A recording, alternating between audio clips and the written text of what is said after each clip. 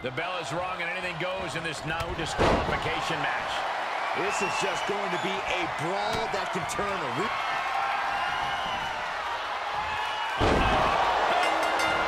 That's it. Calling it by knockout.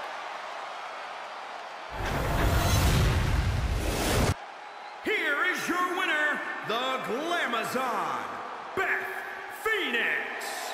Wrestle perhaps the perfect match.